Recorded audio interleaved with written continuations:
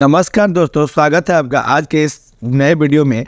मैं बात कर रहा हूँ रेलवे के द्वारा जो आरआरबी टेक्नीशियन का फॉर्म निकला है, जो कि पहले रेलवे लोको पायलट का फॉर्म निकला था, इसके बाद आपको रेलवे टेक्नीशियन का भी फॉर्म आ गया, जो कि आपको नौ तीन दो हज़ार चौबीस से भरना स्टार्ट भी हो गया है।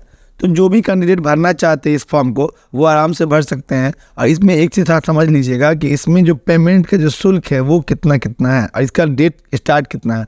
ये नौ तीन दो हज़ार चौबीस से स्टार्ट डेट है और एप्लीकेशन का लास्ट डेट आपको आठ चार दो हज़ार चौबीस तक है, ठीक है? इसमें S C S T female और E C M minorities E B C और आर एस टोटल आपको ढाई सौ रुपये कटेगा और अदर जो भी कैंडिडेट है, उन लोगों को फाइव हंड्रेड पेमेंट कटेगा, ठीक है? तो इसमें यहाँ पे इसका जो डेट दिया गया है, इसका जो उम्र दिया गया है, वो है technical grade one sing, sing, signal के लिए दिया गया है सिंगल 18 से 36 ईयर्स और यहाँ पर टेक्निकल ग्रेड थ्री के लिए दिया गया 18 से 33 ईयर्स ठीक है? और आपको जो एज रिलेक्शन मिलता है वो तो आपको मिलेगा ही अलग से।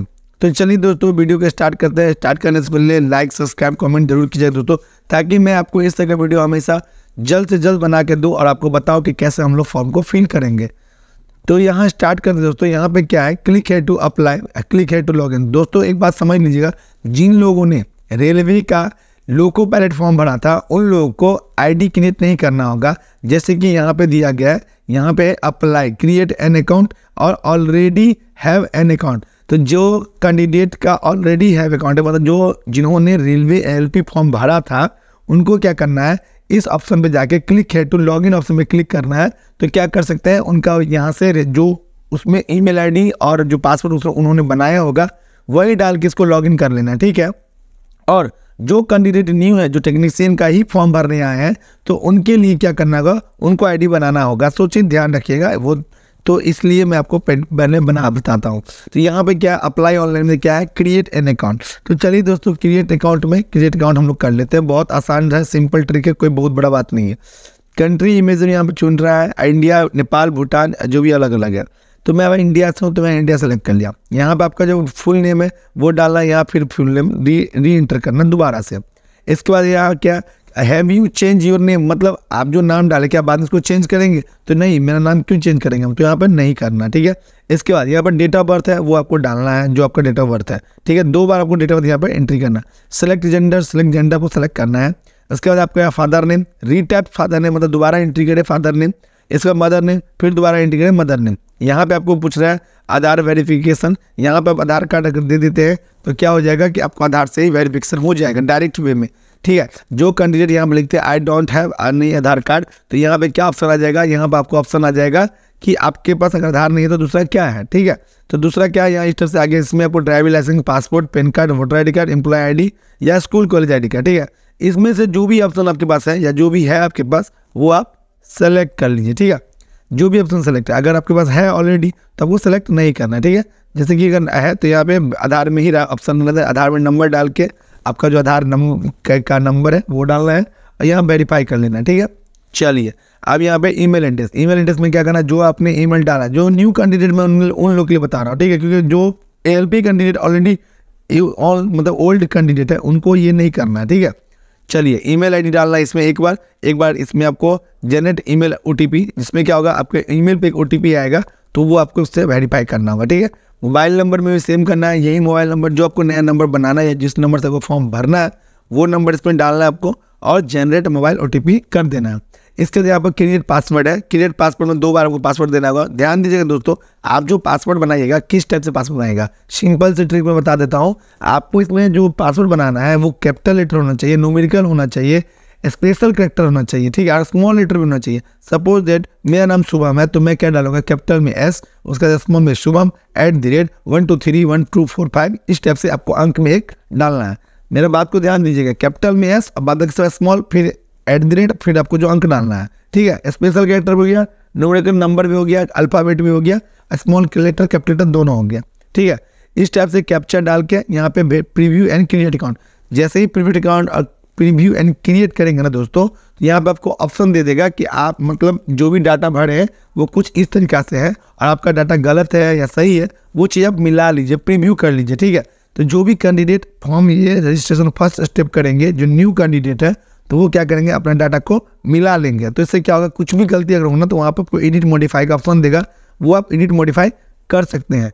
जैसे ही आप प्रीव्यू कर लीजिएगा ना दोस्तों तो आपको प्रीव्यू करने के कुछ इस तरीके से जब नेक्स्ट सबमिट कीजिएगा तो आपका जो ईमेल आईडी है और आपका जो पासवर्ड है जो आपने बनाया है, इससे आपको लॉगिन करना है। कुछ इस तरीका से। जैसे ही लॉगिन करेंगे ना तो कुछ पहला स्टेप आपको ऐसा दिखेगा, ठीक? चलिए जैसे ही लेवल दिखेगा ना, इसके बाद क्या करना है, इसको लॉगिन कर लेना। जैसे लॉगिन करेंगे ना, जैसे ही लॉगिन होगा यहाँ पर दे देगा ऑनलाइन अप्लीकेशन इस पर क्लिक कर देंगे तो यहाँ पर ध्यान दीजिएगा दोस्तों, यहाँ पर दो ऑप्शन है, ठीक है? तो थोड़ा सा कन्फ्यूज़न हो जाएगा आपको कि यहाँ तो दो ऑप्शन है, अब मैं कौन सा पढ़ूँ? तो ये देखिए, ये ग्रेड वन और ग्रेड टू जैसा कि मैंने वीडियो के पहले स्टार्ट में ही बताया था, यहाँ पे ग्रेड वन था और ग्रेड थ्री था ऑप्शन यहाँ सीधा समझ लीजिए, आप जिस चीज़ के लिए एलिजिबल है, ठीक है, यहाँ पे इंपॉर्टेंट इंस्ट्रक्शन है, इसको थोड़ा पढ़ लीजिएगा ठीक है? आप जिस चीज़ के लिए जिसमें लीगल रूप से आप है एलिजिबल है, वो कैंडिडेट इस ऑप्शन में करके फॉर्म भरेंगे। जो कैंडिडेट इस चीज़ के लिए मतलब एलिजिबल है, वो इस ऑप्शन में सेलेक्ट करेंगे। मान लीजिए मैं इसके लिए मतलब एलिजिबल हूँ तो मैं इसमें सेलेक्ट करके आगे बढ़ूँगा। और इसमें क्या है, अगर मैं नहीं हूँ तो मतलब मैंने इस पर से नहीं इस इस पद के लिए एलिजिबल हूँ तो मैं इसके लिए एलिजिबल पर क्लिक करके नेक्स्ट करूँगा, ठीक है? अगर आपको दोनों भरना है ना दोनों ही भरना ही है। तो आपको क्या करना है? पहले इस पर क्लिक करके आपको एक एक स्टेप करके भर लेना है। जब ये पूरा कंप्लीट हो जाएगा, फिर आप नेक्स्ट करके आइए, फिर इसको नेक्स्ट करके इसको भी भरिए, ठीक है? दोनों ऑप्शन आपको भरना है एक एक करके। तो पहले मुझे ये भरना मैं इस पर नेक्स्ट करके क्लिक कर देता हूँ। जैसे मैं नेक्स्ट क्लिक करूँगा ना तो यहाँ मेरा पूरा नाम, मेरा डेट ऑफ़ बर्थ मेरा मोबाइल नंबर ये सब मुझे ऑफ़ हो जाएगा, ठीक है? क्योंकि मैंने ये सब भर के रखा है तो यहाँ मेरा पूरा ऑफ़ हो रहा है, ठीक है? जैसे कि मैंने आपको बताया। तो यहाँ पे आपका नाम details mobile number father's name आपका जो एड्रेस है, वो सब आपको कंप्लीट कर लेना ठीक है? इसके यहाँ पर आएगा सेव सेव करके नेक्स्ट कर लेना है। जैसे नेक्स्ट करेंगे ना दोस्तों तो ध्यान दीजिएगा, यहाँ पे एक चीज़ ऑप्शन है, आपको मैं थोड़ा सा एक बार प्रीव्यू भी बैक कर देता हूँ तो थोड़ा सा और समझा पाऊँगा, एक मिनट हाँ चलिए, यहाँ पे एक चीज़ ध्यान दीजिएगा दोस्तों, यहाँ पे क्या दिया है कि आप अपना मोबाइल नंबर डाल दिए, अपना ईमेल आईडी डाल दिए, ठीक है?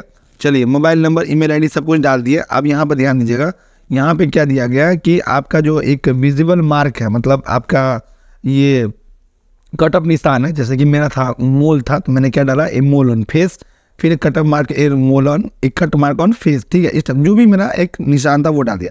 यहाँ पर देखिए कम्युनिटी में क्या है? आप अनरिजर्व है तो अनरिजर्व सेलेक्ट करेंगे। एस सी है तो एस सी में सेलेक्ट करेंगे। एस टी है तो एस टी में सेलेक्ट करेंगे। ओ बी सी है तो ओ बी सी में सेलेक्ट करेंगे।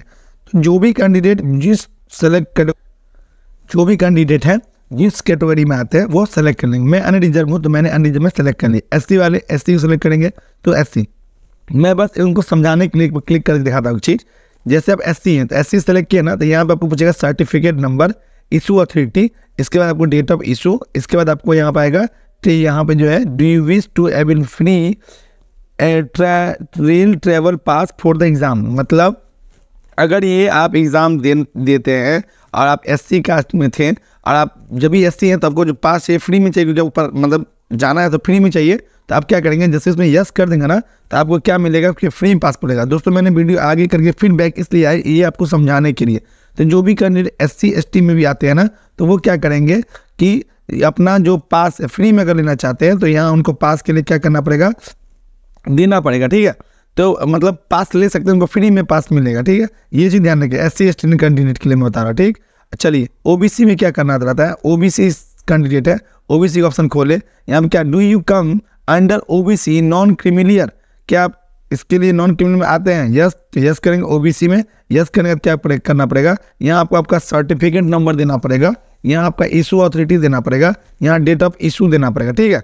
ये ऑप्शन थोड़ा सा समझ लीजिएगा। यहाँ पे इस टाइप से जो भी आपको कैटेगरी है, उस हिसाब से। तो इशू नंबर इशू अथॉरिटी यहाँ डेट ऑफ़ इशू अनरिजर्व के लिए कुछ नहीं है अनरिजर्व में कुछ नहीं देना। जैसे ई डब्ल्यू एस होंगे ई डब्ल्यू एस कैंडिडेट इस टाइप से। यहाँ उनको देना होगा तो इनको भी सर्टिफिकेट नंबर देना है ई डब्ल्यू एस का। इसी अथॉरिटी देना पड़ेगा डेट ऑफ़ इशू देना पड़ेगा, ठीक है? तो जो कैंडिडेट जिस टाइप से हैं, वो अपना सेलेक्ट कर ले, इस टाइप से ऑप्शन को बढ़ सकते हैं। चलिए वीडियो को नेक्स्ट करते हैं सेव करके नेक्स्ट कर लिया। अब नेक्स्ट करने का फिर आपको यहाँ पर आ जाता है। यहाँ पर आता पूछता है are you an ex serviceman तो हो सकता है कि कुछ ऐसे कैंडिडेट होते हैं जो एक्स सर्विसमैन भी फॉर्म भरते हैं तो उनके लिए यस या नो का ऑप्शन है, वो कर सकते हैं। ठीक है? Person with benchmark disability P W B D details अगर आप विकलांग हैं, आँख से, कान से, नाक से, किसी भी चीज़ से तो आप इसमें यस करेंगे, नहीं तो नो करेंगे, ठीक है? इसके बाद जो कैंडिडेट ईबीसी कैटेगरी ओबीसी अगर आप चुनते हैं वहाँ पे, और ईबीसी कैटेगरी में अगर आप आते हैं तो क्या करना पड़ेगा? Are you person with benchmark disability sorry यहाँ पे are you an E B C certificate holder क्या आप ई बी सी हैं? तो ई बी सी है तो यस कर देंगे, ठीक है? इस टाइप से ई बी सी कर दिए, और आपका जो ई बी सी का जो नंबर होगा, वो सब यहाँ पे आपको मांगा जाएगा, ठीक है? ये देखिए do you wish to have free counselling yes इसमें जैसे करेंगे तो आपको सर्टिफिकेट नंबर इसी अथॉरिटी डेट ऑफ़ इशू, ये सब आपको भरना होगा, ठीक है? इसके बाद यहाँ पे आप पूछता है are you in employment of India railway क्या आप इंडिया रेलवे के एम्प्लॉयमेंट हैं? अगर आप हैं, अगर आप हैं रेलवे के एम्प्लॉयमेंट तो आपको क्या करना पड़ेगा? इसमें यस करना होगा, नहीं तो नो करना होगा। इसके बाद करेंट एम्प्लॉयमेंट डिटेल्स अगर है तो यस करेंगे, नहीं तो यहाँ जैसे वहाँ पर नो हम करते हैं ना तो वहाँ पर नो हो जाता है, ठीक है? चलिए, इसके बाद यहाँ पे आपसे पूछता है कि आप जो हैं, आप जो हैं, यहाँ पे अप्रेंटिस की कर रहे हैं। अप्रेंटिस जो होता है, जो सिंगी रेलवे अप्रेंटिस का जो कोई कैंडिडेट फॉर्म भरते हैं रेलवे में तो क्या होता है उनको कुछ काम सिखाया जाता है। या तो उनका कोर्स कंप्लीट हो गया रहता है, या तो वो अपेयरिंग में रहते हैं। अगर आप कंप्लीट कर चुके हैं कोर्स यस करेंगे, नहीं तो नो करेंगे। मैं तो नहीं अप्रेंटिस मैंने नो कर दिया। अगर आपका है तो यस करेंगे। और यस करेंगे इसमें जितना डिटेल मांगा जा रहा है ट्रेनिंग डेट ट्रेनिंग का जो सर्टिफिकेट नंबर मिला सर्टिफिकेट डेट ये सब आपको यहाँ पर डालना होगा। ठीक कंप्लीट कर दिए तो ठीक है? नहीं तो नो करना यहाँ पे, इस तरीके से जो सिक्की मैंने आपको बताया। चलिए, इसका आप उसका नेम ऑफ़ अकाउंट होल्डर ये मेरा अकाउंट नंबर बोला गया डालने के लिए, मगर मैंने ऐसे बस सबको समझाने के लिए कोई भी अकाउंट नंबर डाल दिया, कि ताकि वो समझा सको, ठीक है? यहाँ आपको अपना सही अकाउंट नंबर डालना, और अपना ही डालना गार्जियन का नहीं डालना, अपना अकाउंट नंबर डालना, ठीक है? तो यहाँ पे आप अपना अकाउंट नंबर डाल दीजिएगा, इसके बाद अपना सेव कर लीजिएगा। जैसे ही सेव करिएगा ना, यहाँ पे, देखिए, यहाँ पे मैंने ई e सेलेक्ट कर लिया था तो ई e में आपको ये ऑप्शन मांग रहा था। मैं तो ई बी सी नहीं जनरल मैंने ई को बैक कर दिया नो कर दिया। चलिए सेव कर दिया। सेव करने के बाद आपका आ जाएगा क्या यहाँ पे? जो आपको क्वालिफिकेशन है, वो आपको पूछने लगेगा, ठीक है? एजुकेशन कौन सा? यहाँ फ़र्स्ट ऑप्शन में मेट्रिकुलेशन जो है, ये आपको ऑलरेडी पहले से सेलेक्ट होगा, ठीक है? तो जैसे सेलेक्ट होगा ना तो इसमें आपको यहाँ पर पूछा जाएगा मैट्रिक में कैसे? तो बिहार स्टेट जो भी आपका स्टेट है, वो सेलेक्ट कर लीजिए बिहार, दिल्ली, मुंबई, जहाँ भी है, ठीक?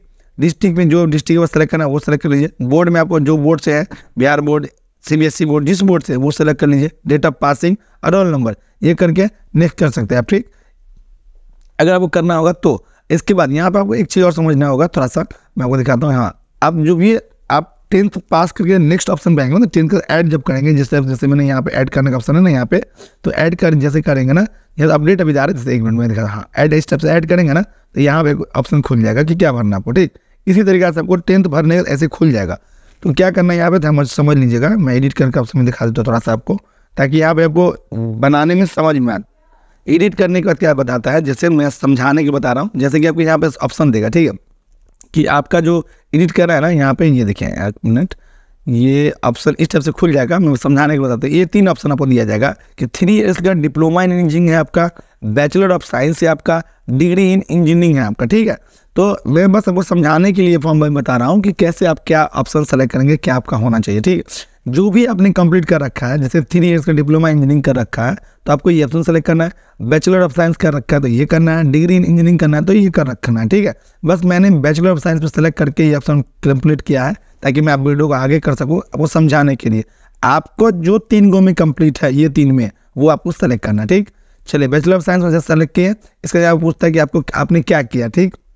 Computer science, electronic instruments, physics या इंफॉर्मेशन टेक्नोलॉजी, जो भी किया, वो आप सेलेक्ट कर लीजिए। इसका आपका स्टेट इसका आपका डिस्ट्रिक्ट इसका नेम ऑफ़ कॉलेज यूनिवर्सिटी का नाम आप लिख दीजिए और डेट ऑफ़ पासिंग लिख दीजिए इस तरीके से दोस्तों, आपका जो दो डिटेल है मतलब मैट्रिक का और जो भी आपने टेक्नीशियन ग्रेड में किया होगा, जो भी किया होगा, वो आपको यहाँ पे कंप्लीट करना होगा। जैसे ये कंप्लीट कर लेंगे, इस टाइप से आप नेक्स्ट कर दीजिएगा। जैसे ही नेक्स्ट करिएगा, यहाँ पर आपको फ़ोटो और यहाँ पर सिग्नेचर ऑप्शन डालने का आ जाएगा। दोस्तों फॉर्म जितना भारी लगता है देखने में, भरने में, ऐसा फॉर्म है नहीं। अगर आप सही से समझते तो फॉर्म को भरना मुश्किल से मैंने आपको जो वीडियो बना के दिखाया, मैंने पंद्रह मिनट, सोलह मिनट में वीडियो कंप्लीट कर रखा है, ठीक है? बस मैंने जब जब मैं आपको बोलता हूँ तो समझाने के लिए मुझे दो मिनट, चार मिनट ज़्यादा एक्स्ट्रा टाइम लग रहा है, क्योंकि मैं आपको समझा रहा हूँ तो थोड़ा टाइम लगता है। चलिए, यहाँ पे आपको फ़ोटो का ऑप्शन आ गया, और यहाँ आपका सिग्नेचर फ़ोटो सिग्नेचर में दोस्तों ध्यान दीजिएगा, यहाँ पर जो लिख दिया है वो थोड़ा समझ ही लीजिएगा। यहाँ पर लिखा गया कि आपका एक फ़ोटो चाहिए पासपोर्ट साइज़ फ़ोटो चाहिए और इसका जो आपको फ़ोटो का साइज़ होना चाहिए वो 3.5 सेंटीमीटर एंड 4.5 सेंटीमीटर ठीक है? सेंटीमीटर में फ़ोटो लीजिएगा पासपोर्ट साइज़ लीजिएगा तो आपको क्या होगा कि आपका फ़ोटो आप मतलब आसानी से अपलोड हो जाएगा, कोई दिक्कत नहीं होगा, ठीक है? और फ़ोटो का जो बैकग्राउंड होना चाहिए, वो व्हाइट में हम डालिएगा। देखिए कि यहाँ पर लिखा दिया ना कि colour passport photograph with a white background तो फ़ोटो का साइज़ मतलब फ़ोटो जो डालना है, वो व्हाइट बैकग्राउंड में डालना है, ठीक है? और फ़ोटो का जो के बी है, तीस के बी से सत्तर के बी में डालना मतलब फ़ोटो मिनिमम तीस के बी होना चाहिए मैक्सिमम सत्तर के बी के अंदर होना चाहिए, या सत्तर के बी होना चाहिए। तो इस टाइप से आपको फ़ोटो डालना है। सिग्नेचर भी सेम है। सिग्नेचर में दिया गया कि व्हाइट पेपर पर रहना चाहिए। और आपको जो भी आपको पेन यूज़ करना है ब्लैक या ब्लू पेन यूज़ कर सकते हैं आप। इसमें बॉक्स बना के आपको एक सिग्नेचर करना है, जो कि बॉक्स करके तब सिग्नेचर आपको करना है इस टाइप से, जो कि यहाँ पे बॉक्स टाइप का बना ऑप्शन दिखाता रहता है। ठीक है?